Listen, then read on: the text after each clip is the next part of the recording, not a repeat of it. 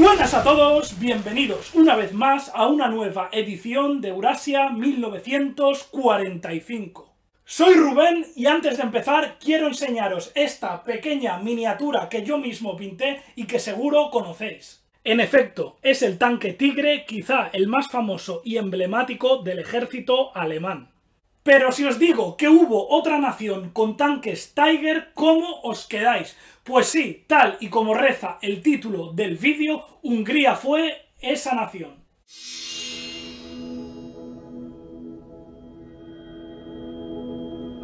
Hungría fue aliada de Alemania durante toda la Segunda Guerra Mundial en el frente oriental y como era obvio recibió numeroso material bélico del Tercer Reich desde todo tipo de tanques Panzer, incluso una docena de carros Panther como los que veis en esta fotografía con su tripulación Magiar.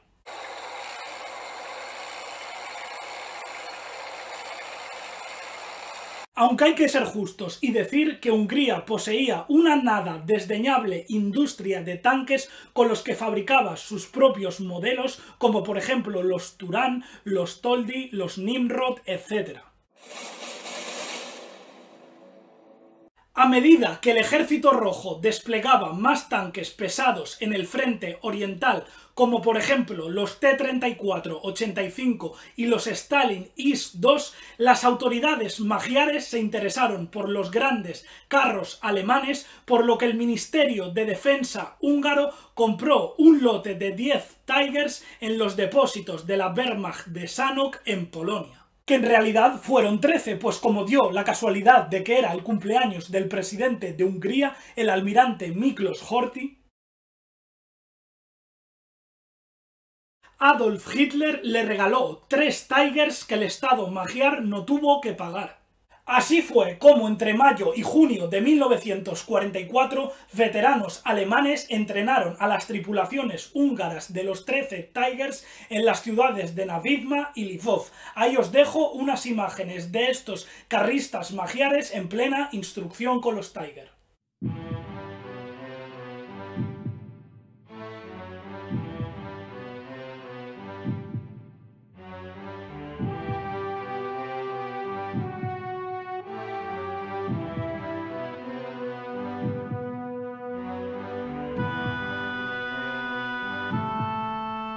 Finalizado el adiestramiento, los carros pesados magiares fueron agregados al primer ejército húngaro al mando del general Karoli Berekfi. los cuales a su vez pasaron a formar parte de la veterana segunda división blindada húngara. Para que os hagáis una idea, ahí os dejo su organigrama.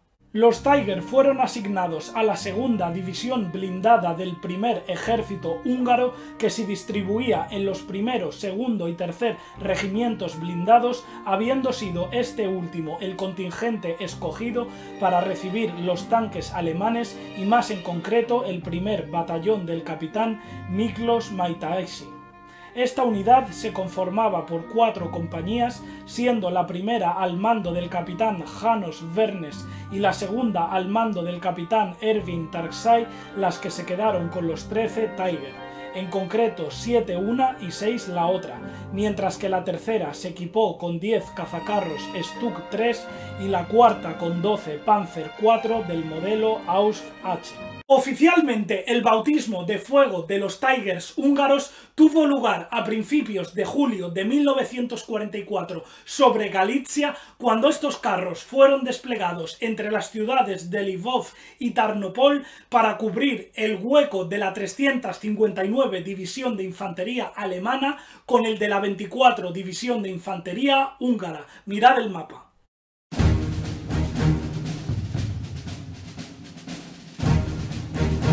Allí ya demostraron su eficacia porque en el primer choque destruyeron a cuatro tanques T-34 rusos, a varias piezas de artillería, a un búnker y a un depósito de municiones. Algo más tarde, en la denominada Cota 386, los Tigers magiares ocultos en emboscada pulverizaron a cinco cañones autopropulsados Su-122.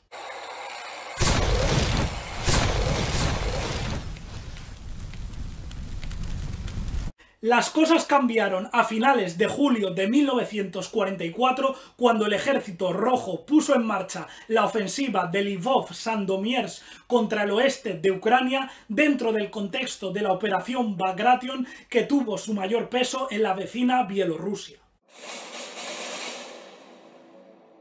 Veamos pues cómo transcurrió el desempeño operativo de los Tigers húngaros en esta campaña. La cometida del Ejército Rojo durante la ofensiva de Lvov-Sandomierz fue de tal magnitud que pronto el primer ejército Panzer comenzó a ser flanqueado por la derecha precisamente donde se encontraba el primer ejército húngaro con la segunda división blindada. A pesar de que las tropas húngaras acompañadas por los Tigers contuvieron a los rusos en la línea Hunyadi sobre el sector de Stanislav, el 24 de julio los rusos abrieron brecha por Otinia. Por suerte los Tiger magiares, dándose cuenta del peligro, intentaron bloquear el avance en un pueblo llamado Saturnya, chocando contra las vanguardias soviéticas en la cota 514. La defensa de la colina 514 fue sin duda la acción más épica de los Tigers húngaros, pues únicamente dos de estos carros actuando en solitario y estando al mando del teniente Erwin Tarksay descargaron una monumental potencia de fuego contra una columna blindada soviética, logrando en tan solo 30 minutos destruir a los rusos un total de 14 tanques T-34.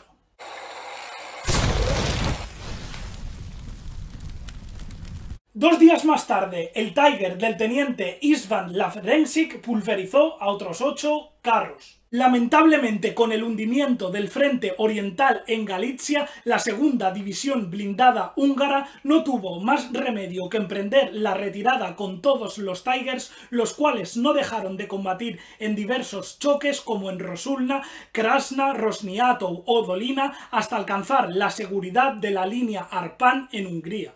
Aún así, durante el repliegue, los Tigers húngaros destruyeron a un total de cuatro cañones autopropulsados rusos Su-122, matando a cuatro de sus tripulantes e hiriendo a otros ocho.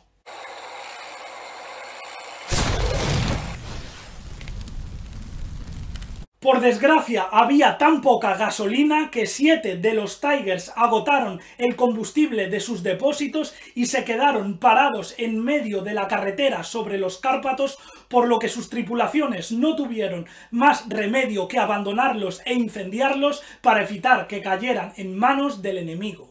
Después de la campaña de Galicia, tan solo quedaron seis tanques Tigers operativos para el ejército húngaro, de los cuales tres desaparecieron en la campaña de Transilvania, probablemente luchando en uno de los muchos choques contra el ejército rumano que se acababa de cambiar al bando de los aliados.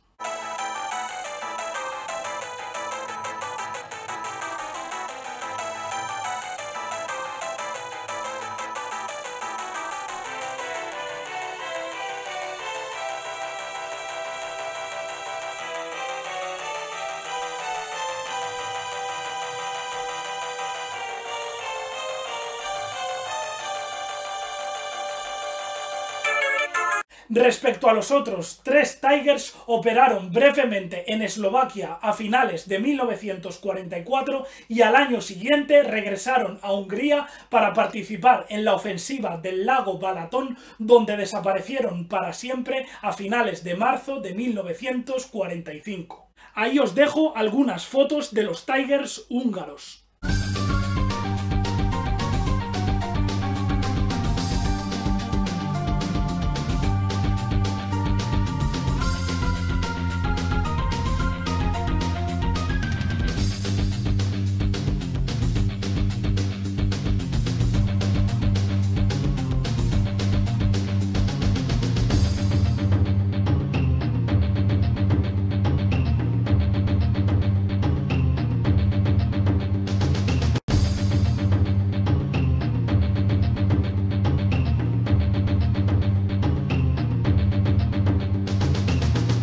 Antes de acabaros, me gustaría recomendaros un libro del autor Juan Campos Ferreira, que ya lo hemos tenido en alguna entrevista en este programa, y que se titula Tigers, la garra acorazada de la Panzerwaffe, que como bien dice el título, pues trata de toda la vida operativa del tanque Tiger y por supuesto de todas las unidades existentes alemanas, austriacas y también la húngara de la que hemos hablado hoy.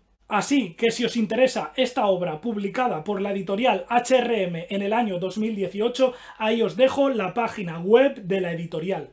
Y hasta aquí el programa de hoy. Espero que os haya gustado y hayáis aprendido mucho. No olvidéis suscribiros a este canal sobre cosas raras de la Primera y Segunda Guerra Mundial, a darle a la campanita, a seguirme por Facebook y Twitter en Eurasia 1945 y por supuesto a visitar mi página web de la Segunda Guerra Mundial www.eurasia1945.com.